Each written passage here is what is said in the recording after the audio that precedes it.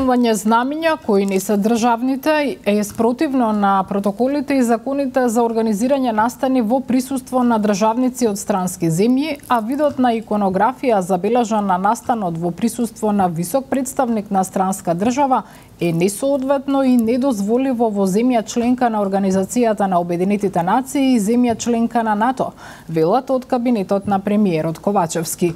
Околу иконографијата за време на приватната посета на косовскиот премиер на земјава се осудува неинтонирањето на македонската химна и неистакнувањето на македонското државно знаме. Во текот на денот бил исконтактиран амбасадорот на Република Косово во Македонија.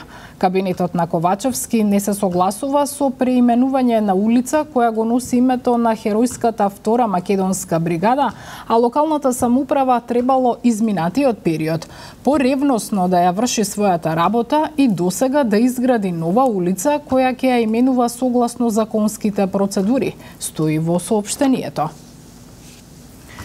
Курти дојде во Македонија за да ги поттикне најекстремните политички структури на албанците, изјави денеска директорот на Канцеларијата за Косово Петар Петковиќ. Препораката на Курти Скопје да се доближи до самопрогласеното Косово, Албанија и Бугарија и подалеку од Србија е дрскост и повеќе кратна глупост. Ваквите изјави Курти ги дава во време кога отворено се занимава со дестабилизација на Македонија. И разбирливо е дека од Тетово, кое во блиското минато беше во фокусот на албанскиот тероризам и сепаратизам во Македонија, Курти го напаѓа Белград, бидејќи Србија е најконзистентен и најскрен пријател на Македонија во регионот, рече Петковиќ. Европската Унија нема да ја напушти Македонија доколку не ги направите уставните измени, но ќе го испуштите моментумот кој постои во Унијата за проширувањето, изјави во интервјуто за Канал 5 шпанскиот амбасадор во земјава Хозе Луис Лозано Гарсија. Според него, земјава без уставните измени сама ќе се блокира на патот кон членство. Со него разговараше Јован Георговски. If amendments are not uh, voted are not passed, then we are missing that momentum. And that will mean that the whole process of accession will come to a stop. Uh, would that mean anything else? EU is going to uh, just uh, leave the country. That's not the case. I mean, EU member states, we are going to be there, but for sure, I mean, the accession process is not going to be to continue, and that's an important thing to know. So, I mean, the issue is sovereign decision at the same time taking advantage of the momentum.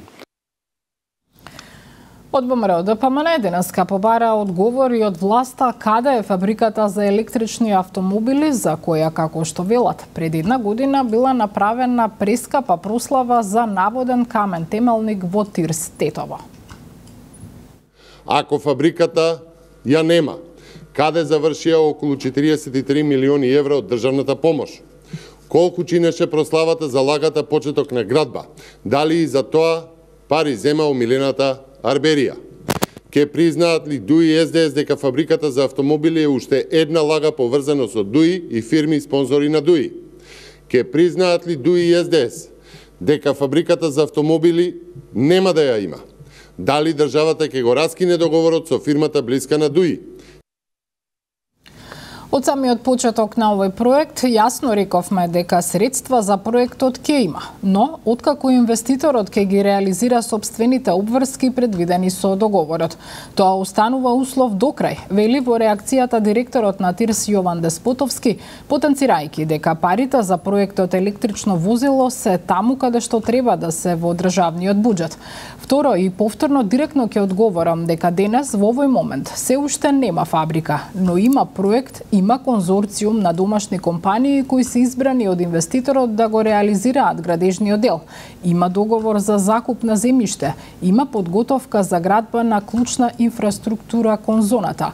Но и без овие работи, на вистина не, сме, не сметам дека ова е причина за задоволство, па макар доаѓало и од нашите политички опоненти. Ефектите од ова, како и од останатите инвестиции, се за сите граѓани на оваа држава, одговара Деспотовски.